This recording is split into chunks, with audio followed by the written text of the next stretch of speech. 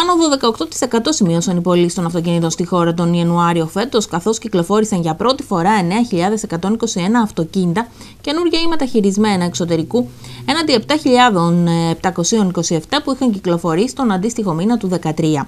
Μείωση 32,2% είχε παρουσιαστεί τον Ιανουάριο του 2013 σε σχέση με τον αντίστοιχο μήνα του 2012. Παράλληλα, σύμφωνα με την Ελληνική Στατιστική Αρχή, η κυκλοφορία νέων μοτοσυκλετών άνω των 50 κυβικών εκατοστών ανήλθε σε 2.080 μοτοσυκλέτες τον Ιανουάριο φέτος, έναντι 1.912 μοτοσυκλετών τον αντίστοιχο μήνα του 2013, παρουσιάζοντας αύξηση 8,2%.